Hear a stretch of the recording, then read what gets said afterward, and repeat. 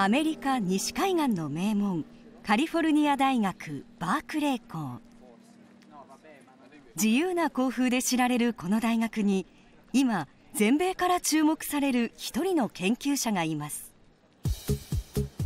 旧ソビエト出身の気鋭の数学者エドワード・フレンケル教授です。フレンケル教授が挑んでいるのはラングランズプログラムと呼ばれる数学界最大のミステリーの一つ。教授の最終目標は整数や分数など数とは何かを研究する数論。図形の形や性質を調べる幾何学。そして複雑な関数を読み解く解析学など一見互いに無関係だと考えられてきた数学のさまざまな分野に実はミステリアスな深いつながりがあることを証明しようという壮大なチャレンジですもしこのラングランズプログラムが完成しさらに数学の全ての分野が地続きであることが示せれば数学者たちを悩ませ続ける数々の難問が解決する可能性があるといいます。Langland's program is a set of ideas about how these pieces fit together, how they should fit together, which we still don't know, for which we still don't know the answer. それだけではありません。フレンケル教授は抽象的な世界を描く数学と私たちが暮らす現実世界を研究する物理学の間にも驚くべきつながりがあると予想しています数学の最先端理論を突き詰めていけばこの宇宙を支配する物理法則が次々と姿を現すのではないかというのです。フレンケル教授は今回一般の学生から数学の専門家までを集めた全4回の特別講義を行いました。フェルマーの最終定理。ガロア群そしてスーパーストリング理論。最先端の世界が次々と登場。学校では決して教えられない美しくて楽しい数学の世界が大展開します。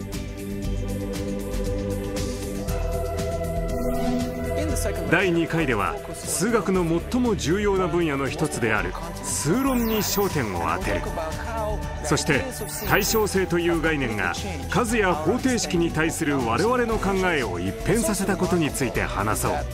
驚くべきことにその発見を最初に成し遂げた若干二十歳のフランスの数学者ガロアはその直後に決闘で命を落としてしまった。だがその発見は実に革新的なものだったんだ。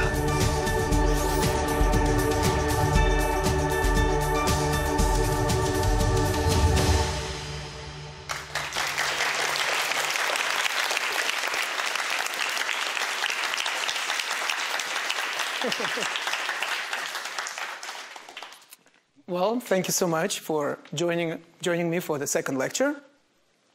I want to start by um, summarizing uh, the main points of what we learned up to now. And of course, the main point that I want to make is the idea that there are different continents of mathematics, and uh, which you can imagine is a kind of built from a kind of a jigsaw puzzle and what are the continents which we are specifically interested in in these lectures? They are number theory, harmonic analysis, and geometry. And we have talked a little bit about them. And I have indicated that this man, Robert Langlands, shown here um, uh, at his office uh, at the Institute for Advanced Study in Princeton, has come up with, with what is now known as the Langlands program. About 50 years ago, he wrote a letter to another prominent mathematician, André Weil, in which he outlined his ideas, which you can think of as, as building a bridge between two continents of mathematics, number theory and harmonic analysis. An interesting detail about Langlands. He speaks many languages. And I don't mean just speak, but fluently. He has written, you know, articles and, and books in those languages. Apart from his native English, French, German, Russian, and Turkish. Even though he did not speak any languages other than English before he entered college. And, uh, you know, in recent years, I have collaborated with him, and we have exchanged many emails, and he would often write to me in Russian. And he kind of insisted that I would respond in Russian as well. And one day, he sent me a list of authors, Russian authors, that he read in Russian. And I have to say, I felt a little bit embarrassed because I wasn't sure that I have read as much in Russian, my native language, as he has. And so, and I always wondered if this ability to learn different languages and being fluent in those languages maybe has something to do with, you know, the fact that he was able to come up with this uh, really surprising and beautiful ideas connecting different subjects of mathematics. So to set up the, uh, the Langlands program, I talked about symmetry. And more specifically, I talked about symmetries the way it is realized or manifested in geometry. I talked about the round and uh, square bottles and their symmetries. I have talked about permutation groups. What I would like to do now is to talk about how symmetry is realized in another continent of mathematics, in another area of mathematics, namely number theory. So I want to talk about number theory proper. So I want to talk about numbers. Now, we have already discussed the integer numbers. Now, oftentimes we call them whole numbers, but mathematicians usually refer to them as integers. And what are they? They are the natural numbers, which we first learned by counting 1, 2, 3, 4, and so on. Then there is 0. And then there are negative numbers negative 1, negative 2, negative 3, and so on. And of course, it's a fascinating story of how mathematicians came up with these numbers, especially number 0 is a very, is a very uh, mysterious number in some ways, which kind of took humanity many, you know, um, millennia perhaps to really come to grips with. Of course, integers are the ones which we see and observe and experience in, in our lives all the time. You know, my phone number is an integer, right? My date of birth, the day of the month, and the year are integers. You know, my PIN number I use when I withdraw money from the ATM machine is an integer. Although that may change, I suppose. So, in future technology, who knows? Uh, but uh, we also encounter in, in real life, we also, in our day to day life, we also encounter uh, numbers of slightly different nature. Namely, we also encounter ratios of integers, like the ones I've shown here. For instance, when we talk about prices, you know, if you have $2.95, that is referring to a rational number, which is, you know, 2 and 95 divided by 100. Right? So this kind of uh, numbers are also quite natural, and we're familiar. They're called rational numbers. So for many years, for a long time, mathematicians thought that these were all the, all the numbers that we should ever uh, consider. And uh, for instance, Pythagoreans really thought that whatever, you know, the real existing numbers, the real numbers, so to speak, are the fractions, are the rational numbers, and everything else somehow is non existent. But this is very hard to make such an argument because actually we encounter uh, numbers which are not rational numbers as well, very quickly. For instance, if we look at the right triangle with two legs of length 1, then the hypotenuse, and this we know from the uh, Pythagoras theorem, which I already mentioned at the beginning of, of these lectures, right? So we have 1 squared plus 1 squared should be equal to the hypotenuse squared. And so that's 2. And so then c is a number whose square is 2. And then we invent a symbol, square root. We invent a symbol to indicate what this means. We simply should read it as saying this is a number such that when we square it, we get 2. It's called square root of 2.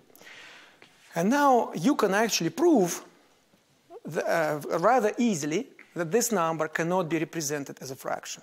It cannot be represented as a fraction. But the upshot is that this is not a rational number. It cannot be represented as a ratio.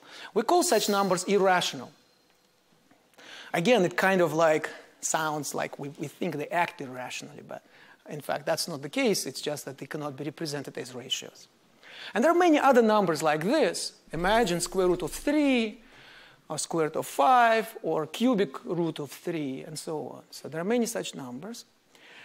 And so what to do? So we encounter these numbers, and it, it kind of, they kind of disturb our um, you know, simple universe of rational numbers. So what to do? And the idea that, and, and this is in a sense the kind of has been the pattern in mathematics in the last, you know, maybe 2,000 years, is a kind of idea of being inclusive. That when we encounter beasts like this, like square root of 2, instead of saying you don't exist, you know, and running away from them, hmm, and not accepting them as members of the family of numbers, rather we say, we become more inclusive. We accept them. Say, okay, come join us and see what happens if you join us. So in this case, what does it mean that the square root of 2, the stranger, would join the family of rational numbers? Well, first of all, if, uh, if I already have the square root of 2, then I would want to have so I already have a square root of 2. And I would want to take two time, uh, twice square root of 2. That would also make sense, right? Why not? So I, am already kind of used to the fact that I can take twice of anything. So why not take twice square root of 2? Or three times square root of 2? And so on. I would also want to take one half of square root of 2. Because I already know about, about fractions. And one, one half is a natural fraction to take. I would take one third of square root of 2 and so on. So the upshot is that once I introduce square root of 2 into the family of rational numbers, I would, it would be natural to also consider all the numbers of the form p divided by q times square root of 2, where p and q are two integers, such as this or this, or maybe, uh, you know, 11 15th times the square root of 2. Is that all? Well, it's not quite all because what about the initial uh, uh, numbers, the original numbers, the rational numbers, uh, such as, you know, m divided by n? They are also out there. So they, this is what we had to begin with. We had all the fractions from the beginning. We had all the fractions, m divided by n. Okay, so initially we have m over n, all of these numbers with subject to this rule. And now we have numbers like this. We also have numbers p over q times square root of 2. But these are different numbers, you see. These are different. They are never equal to each other. If they were equal to each other,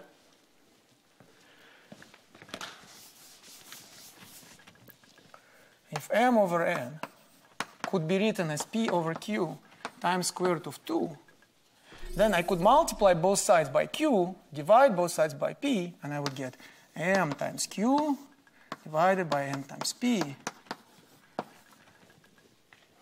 So that then I would be able to represent the square root of 2 as a ratio of two integers, which I already said that's not possible. So not possible. Not possible. So this cannot be true. Therefore, this cannot be true. So they are different numbers. But when we work with numbers, what do we care about? We care about operations on those numbers. And the operations we have are addition, subtraction, multiplication, and division, right? And that's what we have on the original family of rational numbers. But now we have this stranger, square root of 2, who is, that is being added to the mix. And now, but we would like to preserve these operations. That is to say, given any two rational numbers, we can take the sum. Given any two rational numbers, we can take the product. and it will again be a rational number. You see. So, and likewise, we can also take uh, the difference and we can also take the, uh, the divide one by another. But and the, the point is, we kind of take it for granted, right? We take it for granted that if you add, subtract, multiply, or divide two rational numbers, the result will be again a rational number, right? But that's a fact. Note, by the way, that for integers, that's not true.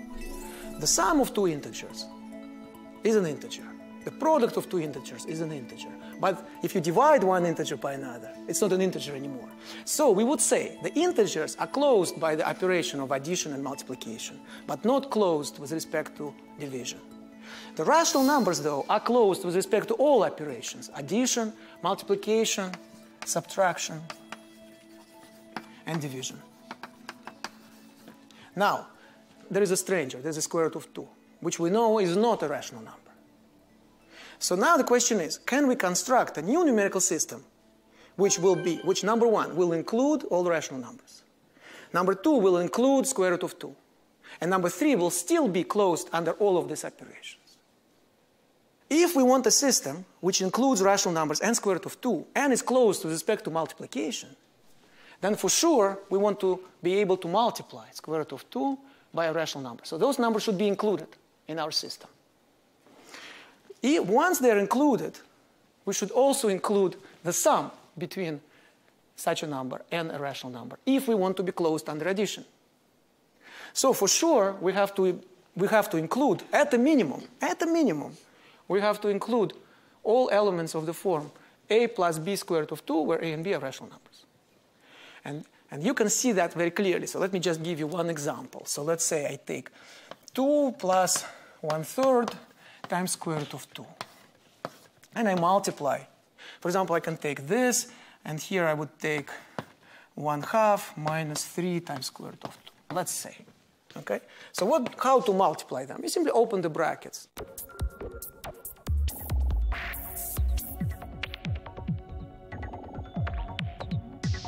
You want, you can write minus 1. So this is minus 35 over 36 times square root Hmm? Over 6, that's right. Yes.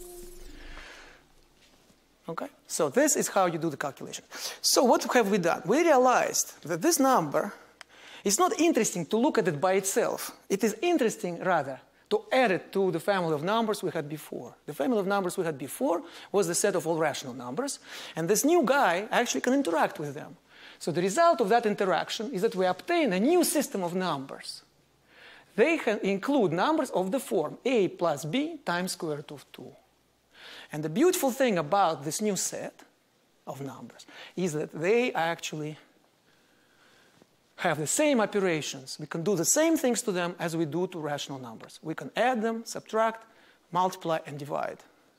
And then they're, they're closed under these operations. This, is, this new numerical system is, what, is an example of what mathematicians call number field. So we have constructed a number field by realizing that there exists a number other than a rational number, namely square root of 2. And likewise, of course, we can do such things with other irrational numbers like square root of 3 or cubic root of 2 and so on. It's just the beginning of a story.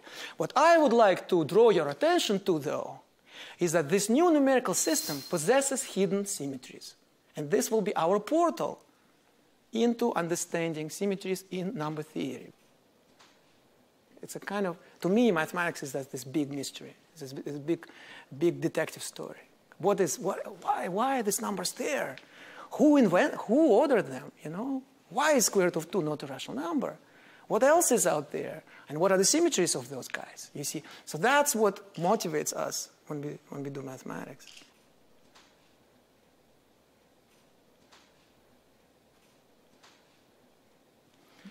So how does it work? It turns out that if we make a transformation that takes a number a plus b squared of 2 to a minus b squared of 2, under this, and we apply it to every element of our new numerical system, then under this transformation, all the properties of this numerical system will be preserved. Addition, multiplication, subtraction and division will not change. So let's be more concrete. So let's say that I take this number. This, by the way, in my general notation, this guy would be A, and this guy, negative 1. And this guy, negative 35 over B, would be B, what I call here A and B. And let's apply this symmetry, this transformation, to this number. You see, under this transformation, this part should stay the same, so it will be still negative 1. But here, the sign should change. So it will go to plus 35 over 36 square root of 2. And likewise, you do it for all numbers. I see. I, for some reason, I like number six, 36 today, so thank you. It's always a good idea uh, to, uh, to put the wrong number on the blackboard, but that's how you know that somebody is listening, so you know. so thank, please correct me in, in the future as well. Okay. And so you see, now if you apply this transformation one more time, what will happen? So under, when you apply it the first time, the sign goes from plus to minus. If you apply it one more time, the sign will go from minus to plus. So you will get back the original number. You see, it's a flip that you apply, apply it twice, you get back the same thing. If you apply to this number, so apply this number, you get this. If you apply back to this number, you get back this. And this, of course, now looks similar to what we have already looked at before, namely the butterfly, symmetries of the butterfly. In the case of a butterfly, the reason why we say that the butterfly is symmetrical is because we can exchange two wings of the butterfly, you see. And uh, now think of one wing corresponding to plus square root of 2 and the other one corresponding to negative minus square root of 2. So we have exchanging those wings would be like exchanging square root of 2 and negative square root of 2, which is the essence of the symmetry that we have considered. At first, this looks like a simple observation, but now we discover a new thing, a new, new, new system, which we didn't have before. In the case of this new numerical system, there is an obvious symmetry exchanging square root of 2 and negative square root of 2. Now you might ask, why is it, uh, why this uh, exchanging square root of 2 and negative square root of 2, why should it preserve uh, all the operations? For a very simple reason, that in fact, In fact, I kind of lied a little bit in the beginning because I said, remember when I introduced this number, I used the Pythagoras theorem and I said that this number appears as a, as a solution of the equation c squared equals 2. And then I said that would be square root of 2. Now, I was justified to say that because I was talking about a length of a hypotenuse of a triangle, which we know that the length is always a positive number or zero. Okay? But in fact, if we look more deeply, we'll realize that this equation has two solutions. Not only square root of 2, but also negative. Negative square root of 2. Now, that one cannot be realized as the length of a side of a triangle, but it's out there. And it will be included in our family, namely as an element for which you know, a is 0 and b is equal to negative 1. But the fact that both of these numbers satisfy the same equation, that kind of makes them kind of indistinguishable, makes them into these two wings of a butterfly. This is the reason why this transformation preserves all the operations. x squared equal 2. So it is really a solution of this equation. So again, x equals square root of 2 or negative square root of 2. But the story that I told you up to now is really about solutions. I mean, initially, I, pre I presented it to you as a story of, of a stranger to the family of rational numbers. That, you know, you thought that you have encompassed all numbers by looking at the ratios of the fractions. And boom, suddenly, there is a new guy, there is a new member, you know, there is a new guy on the block, and which is not a rational number. So what to do? We want to include that number, so we create a new system, and that's, and here we are. But now that we have discussed the possibility of the symmetry, now that we have discussed that square root of 2 and negative square root of 2 actually are the characters, that it's not just the square root of 2, which we have added, if you will, but we have added both square root of 2 and negative square root of 2 because they are inseparable in some sense. They are both solutions of the same equation. Now that we phrase it in this way, it becomes more clear what this story is about. The story is about finding solutions of equations like this. Hmm? And these equations are called polynomial equations or algebraic equations. You see. And so what we have done is we have considered an, a polynomial quadratic equation. In fact, in this case, it is called quadratic equation because it involves a square.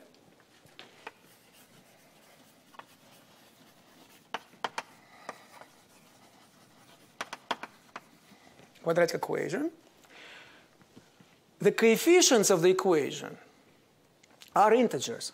The coefficient in front of x squared is 1. The coefficient in front of, you know, the coefficient, the, the free term is 2. They're actually integers. But the solutions are not integers, not even rational numbers. And that creates a possibility for introducing a new numerical system, you see. And in fact, the group of symmetries um, of a number field like this now uh, today is known as a Galois group. As a Galois group. Which, who, uh, Galois, Évariste Galois was a brilliant French mathematician who was killed in a duel before he even turned 21. And it's really an, an incredible story because he actually completed he actually completed his manuscript on the, on the night, on the eve of his death, on the eve of his duel. And he was writing hurriedly his formulas so that they would survive him. And there is a famous, there is actually this, this uh, manuscript is uh, available, is not, is, uh, exists in, uh, in archives. And there's a famous, there's a line in there when he stops and he says, I have no more time. I have no more time. And you know, I always thought ab about this, you know. Here is this young man, 20 years old. And you know, my guess is that somehow deep inside he knows he's going to, he's going to die, he's going to be killed tomorrow. So what is he doing? I kind of picture him, you know, sitting in candlelight at his home, in writing. And what is he writing? He's not writing a letter to his beloved. You know. He's writing mathematical, his mathematical theory. He's writing down his mathematical discoveries. He discovered something which no one else had at the time, and he wanted to share it with us. Because, you know, if you think about it, what value is mathematics if you don't share it? What value is it if you know some formula, but no one else does? It, it acquires this tremendous value when, when we share it, just, just like love.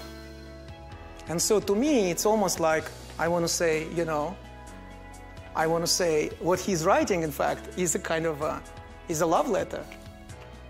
A love letter, but to all of us. So we, we can all share and use and enjoy. That's what, to me, he was doing. What I find so uh, inspiring about doing mathematics is you know, those moments when you suddenly come and come, have this insight, this revelation, and you, um, you solve a problem you've been working on, and you, you find a new idea, a new concept like this. And you realize this for a split second, kind of, or for some time, that you have something which no one else in the world knows.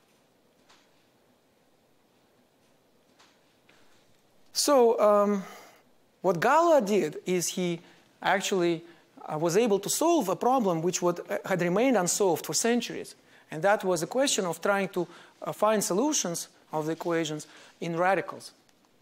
Now, radicals not in the sense of the kind of sense in which this word is used in Berkeley, but, but by radicals, I mean uh, things like square root or cubic root or quartic root or, uh, you know, so any, any sort of root Of course, root also has other meanings, right? And so um, it becomes a little bit, um, there is a certain clash always between the meanings of words that we use in our daily lives and the meanings that we assign in mathematics.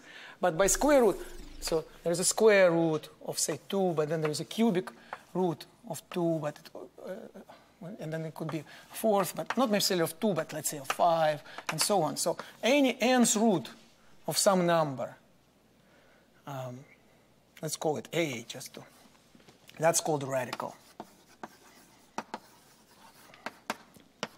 And so the question is whether if you have an equation like the one we discussed, x squared equals 2, whether we could write solutions, actually maybe uh, write it here, um, whether we could write solutions of these equations in terms of radicals alone.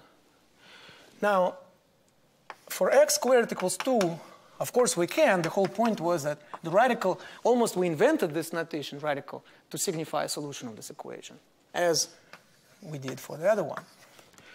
And at school, we also learned a general formula for solutions of general quadratic equations.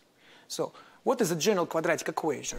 It's an equation which would have x squared, x, and a free term with some coefficients. And at school, we learn a formula for the solution. Let's see if I can, if I can reproduce it correctly. Minus b plus minus b squared minus 4ac divided by 2a. Now, the details are not so important now. What is important is that the only ingredient here, which other than Uh, the, you know, the usual operations of addition, multiplication, subtraction, and division, is the square root. So this is an example of a solution in radicals. You see, in, it is formula in radicals. And so the question is whether we can do the same for equations of higher degree. At school, we stop at quadratic equations, usually. We usually don't consider the next step. The next step, of course, would be cubic equations. Cubic equation would involve x cubed as well as x squared x and a free term. And then we put coefficients. Let's say ax cubed plus bx squared plus cx plus d. The question is whether we could write a formula for the solution of this equation in terms of a, b, c, and d, which would only involve square root and cubic root. That would also be a formula in radicals. It turns out that this is possible. And in fact, this is the beginning, what I'm trying to explain to you is the beginning of a beautiful story, which was one of the perhaps most important, most interesting questions that was considered in mathematics for many centuries. Perhaps I should mention that even for quadratic equations, the formula uh, appeared in, in the work of Persian mathematician Al-Khwarizmi, who lived uh, more or less in the 8th, 9th century. So in his book, which was published in the year 820, so you see how many years, almost 1200 years ago. Although some of these formulas were known even to uh, Diophantus, a, a, Greek mathematician, even about 600 years earlier, apparently. But he published this very influential book, which had in the title the word algebra. The book was written in Arabic. This, by the way, is a stamp which was issued for the 1200th anniversary of, of his birth in the Soviet Union. So it still says SSR, Soviet Union. It's a very nice picture. And this is a picture, uh, this is a page from his book. The book, which had in the title, was written in Arabic, had the, had the word algebra, which more or less has to do with substitution, completion, and so on. And guess what? That's why, that gave the name algebra. Algebra led to algebra. And his own name Al-Khwarizmi, which was for many years mispronounced as algorithmi, gave rise to the word algorithm. So this guy somehow combined some of the most important concept that we use today. That's for quadratic equations. That's for this equation. This formula essentially is contained in different notation and so on in his book. As for the cubic equation, this had to wait for um, almost uh, for about 700 years. So here is a formula, just to give you an idea what it looks like in the case of a cubic equation of special kind, for which there is no, this coefficient is 1, and this coefficient is 0. So you only have x cubed, x, and the free term. This is a formula, and what matters to me is that it involves the cubic root and the quadratic root, you see. This formula is usually called the Cardano formula. And it is part of a, one of the most uh, uh, sort of contra- uh, the biggest controversy in the history of mathematics. Of i would say even a big scandal in the history of mathematics. And so just to give, I'm kind of short on time, but I want to give you a kind of a short story, uh, a short synopsis of what happened, which is that the formula was essentially obtained by mathematician dal Ferro, Italian mathematician who worked in Bologna at the beginning of 16th century. But in those days, mathematicians did not publish their stuff. Why? Because they actually had competitions. They would have competition with another mathematician, and they would pose questions to each other. So, for example, if he knows a formula for a general cubic equation, he would ask his colleague to answer, and if the guy doesn't know, would say, well, I have a solution. So the other guy asked him the same, and he would solve, right? So there was an incentive to keep uh, this formula secret. And that's how, by the way, they gave jobs to mathematicians, if they could win those competitions. So different from how it's done today, you know, which actually for the better, perhaps. so, and then, so this was not known, but then there was another mathematician, Tartaglia, who actually in the contest with a student, Fiore, Fiore, Fiore student of dal Ferro, revealed that he also obtained independently a formula. And then, was, then the story becomes more murky. Because four years later, Tartaglia divulged his secret formula to Cardano, who was a very interesting guy. He was a physician, he was a mathematician, he was an astrologist, he was a big gambler. Fascinating story. And a big swindler of sorts, you know. He was able, a smooth talker, let's just say. He was able to convince Tart, uh, Tartaglia to tell him the formula and promise that he would not tell to anyone. Now, four years, and he actually, uh, and he didn't, for four years, he didn't. But then he found out that, in fact, the formula was first obtained by dal Ferro, because he visited dal Ferro, Cardano visited dal Ferro, and learned from dal Ferro's son in law about dal Ferro's formula. So then Cardano said, all bets are off because Dalfe- I will not be divulging Tartaglia's formula. I would be divulging dal Ferro's formula. So, soon after that, two years later, in, 19, in 1545, Cardano published his book, which kind of was considered one of the most important books of the Renaissance. And it was called Ars Magna, which means great art. And it's sort of, it was called The Great Art, but the subtitle is The Rules of Algebra. So you see, the Renaissance people understood that the great art and algebra were not so far apart, you know. And so, of course, Tartaglia was livid because, and he spent the rest of his life kind of trying to um, convince others that he was, uh, you know, he did the, wrong thing. Although, to Cardano's credit, he did, he did, he did, he did explain the story. He did tell the story of Tartaglia discovering and so on. And so, but the funny thing is, of course, that today this formula is usually referred to as Cardano's formula, even though it should properly be referred as dal Ferro or dal Ferro Tartaglia. Sometimes it's called Cardano uh, slash uh, Tartaglia. Anyway, it's a fascinating story. And one more um, interesting episode is that the student of Cardano, um, this guy Ferrari, uh, Ludovico Ferrari, was able to discover a formula for the solutions of the quartic equation, the equation of degree 4, in, also in terms of radicals. So it involves square root, cubic root, and the root of fourth degree. And then Ferrari kind of destroyed Tartaglia because Tartaglia was very angry at Cardano and he wanted to have a competition with him. And Ferrari said that as a student he would represent uh, represent Cardano. And basically there was uh, they had a big a big uh, contest in Milano in 1548, which was administered, uh, uh, the arbiter was the governor. So it was like a big deal, like everybody was there. And by all accounts, Ferrari basically destroyed Tartaglia, after which Tartaglia was fired from his job, you know. So it's a brutal, brutal, brutal ages, you know. And so um, that is a drama. You know, sometimes we talk about these formulas and we say, well, you know, there's this formula, there's that formula. But can you imagine the kind of drama that actually was unfolding as mathematicians were trying to find those formulas? The stakes were high. So let's summarize. We got the formula for the quadratic um, uh, equations. We got the formula for the cubic equations. We got the formula for the quartic equations of degree 4, right? In terms of radicals.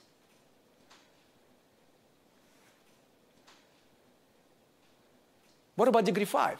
Now we kind of feel confident that perhaps for degree 5, quintic equations, there is also a formula, maybe with fifth root of fifth root involved, uh, the, the root of fifth, fifth power and so on, six degree and so on. So that question was not answered for the next 300 years. And it was Galois who answered that question. And against all expectations, what he did, what Galois did, is actually he proved that no such formula exists. That actually quadratic equations, cubic equations, quartic equations are, are kind of a fluke. Just because they have low degree, only two, three, or four, that you can have kind of a formula, elementary formula, like the ones we have considered. But for equations of degree 5 and higher, no such formula exists, you see. How did, how did uh, Galois establish that? And uh, so what I want to explain is that what Galois did is that he did not solve the problem. He hacked the problem. Because the, he looked at it in a totally different light, from a totally different angle, you see. The problem was understood as a problem of finding a solution of an equation like this. So uh, the next would be when you have ax to the fourth power plus and so on. So for this one, there is a formula in radicals, right? For this one, there is a formula in radicals. But the next equation would be ax to the 5 plus bx to the 4, and so on. And Galois showed that no solutions, no formula exists in radicals in general. But he did show that not because he tried to find a formula, but because he reformulated the question. He said, You guys are doing it in the wrong way. You are trying to find a formula. But instead, what we should be asking is what are the symmetries? What are the symmetries of the solutions of the equation? And you see, it turns out that you can learn about the symmetries of the solutions of the equations without knowing what the solutions are. That is the beautiful thing. Because, for example, we already saw that in the case of, in the simplest case of the equation x squared equals 2, in the case of the equation x squared equals 2, we knew that there were two solutions which we called square root of 2 and negative square root of 2. But in fact, and then we saw from that that there is a Galois, there is a Galois group, the group of symmetries which exchanges them. But in fact, we could have known that without solving. Because it would be clear to us that there are two solutions. And because there are two solutions, the only, non, the only symmetries that you can have is just exchanging them or doing nothing. And that's the butterfly group, if you will, right? So, or from the point of view of what I described in my previous lecture, this is the, the group of permutations. The group of permutations with two elements. Remember, I had uh, those tangerines and, I, and we were permuting them. If you have two tangerines, the only permutations that you have are either exchanging them or doing nothing at all. And just by knowing that there are two solutions, you can infer that the group of symmetries only has these two, these two elements, you see. And likewise, he was able to show that for a general equation of degree 3, the, the group of symmetries would be the group of permutations with three of three tangerines or three solutions, right? And for degree four, permutations with a set of four elements, and so on. And then the question became, can you infer from the structure of the group of symmetries the possibility or impossibility of writing the solution in terms of radicals? And he solved that brilliantly. He explained that that could be traced to a very special property of that group, that Galois group. So the question became whether the groups of permutations possess this property or not. And the answer was only for two, so degree 2, degree 3, and degree 4, it does. But starting with degree 5, it doesn't. Therefore, no such solution exists. That was his argument.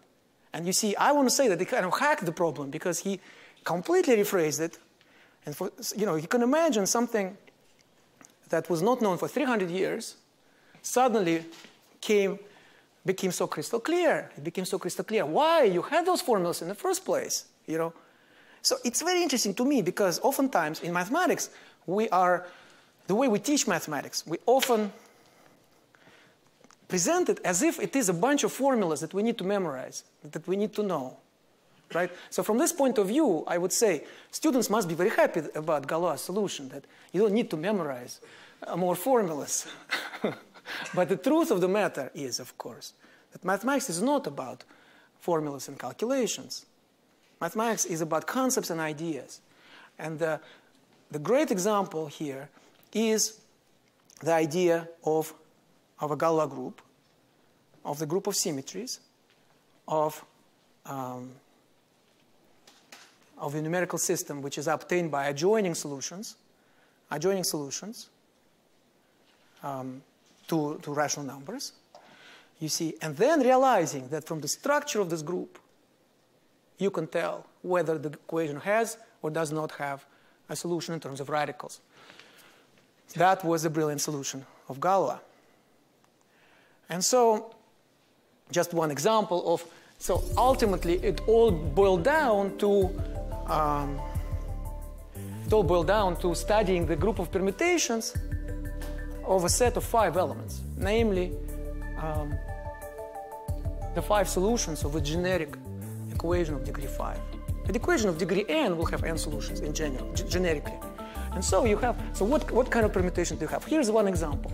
And you can count, how many there are. I'll just give you the answer, 120. This is 5 factorial. 120 elements. So the first group has two, uh, for two elements, there are two uh, that the group has two uh, permutations. For three elements, it has six. For four, it has 24. Still kind of small groups. That's why they have such a simple structure. And they are what mathematicians call solvable. And this, the fact that they're solvable enables you to solve the equation in terms of radicals. But already for five elements, five roots, the group has 120 elements and it becomes much more complex, not solvable anymore, and therefore there is no such formula, you see. So that was Galois' conclusion. Permutation, groups of permutations, by the way, are also known in mathematics as symmetric groups. So again, the word symmetry kind of is in the air, symmetric groups on, uh, on n objects, or in this case, five objects. So this is just one example. You have a question? Yes? What exactly is different about a, a set of five that makes the um, that makes it unsolvable? Okay, so the uh, first I have to explain what uh, solvable means, right? For for a group. I mean, the simplest way to say it is because it becomes big enough, so to speak. So it's it's become it becomes very uh, non-commutative, so to speak. So the uh, there's one. Um, topic which we didn't discuss, which is that uh, groups could be commutative or non-commutative. Uh, commutative means that if you have two elements of the group and you add them up, the result will not depend on the order in which you do it. So for example, the group, the circle group which we discussed in the previous lecture, it is commutative because it doesn't matter if I do 30 degrees and then 20 degrees or first 20 degrees and then 30 degrees. In the case of a basketball though, sphere, there is also the choice of a axis. And if I have two symmetries which correspond to different axes, the applying the transformations back to back in one order or the other order will lead to two different results. That's called non-commutative. So solvable group is a group which has, um, in, some, in some very precise sense, which I, I probably shouldn't, uh, won't, won't be able to explain, is built from commutative groups. It's kind of built in a very precise sense from commutative groups. A non-solvable group is a group which is very non-commutative, that can somehow it cannot even be broken into pieces which are commutative. For five, it cannot be broken, even broken into commutative pieces. So that is a property. So that's more or less the answer. Is that clear now? Okay, great. So let me summarize. Let me summarize. Where are we now? So you see, I told you that in these lectures I would like to speak about three uh, different continents of mathematics, about number theory, harmonic analysis, and geometry. And I said that through, throughout all of these fields of mathematics, there is one idea, one concept which appears to be central, and that is the idea of symmetry. In the first lecture, we discussed how symmetry is realized in geometry. We talked about geometric objects, different transformations of those objects, and how those transformations gave rise to what we called a group of symmetries. In this lecture, we discussed the appearance of symmetry in, in, in the theory of numbers. In the theory of numbers. And as you see that there are some elements here which are kind of similar to what we saw in geometry. For instance, the appearance of these groups of permutation. But also there are some new elements, right? The idea of solving polynomial equations, impossibility of writing formulas of a certain kind. So it's sort of a different, slightly different flavor. So that's the appearance of, group, of, of symmetry groups in number theory. All right, so, and next, in the next lecture, we will talk about how Langlands, Robert Langlands, was able to connect the kind of problems that Galois grappled with so brilliantly, connect them to um, uh, another continent of mathematics, namely harmonic analysis, and what role symmetry groups play in that third continent of mathematics, harmonic analysis. This is, by the way, a photograph which appeared in the recent profile of Robert Langlands in Toronto Star. And one of the reasons I wanted to show it to you is that you can see behind him a blackboard on which he tried to explain to the journalist the main ingredients of the Langlands program.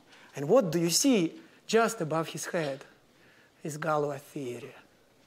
So Galois theory, just the theory that we have discussed here today. But now there is a lot more to come. Um, there is a, now in the next lecture, we'll talk about the Langlands program proper. And we'll talk about the greatest problem in all of mathematics, history of mathematics, called the Fermat's last theorem, and the way it was solved by using ideas of the Langlands program. Thank you very much.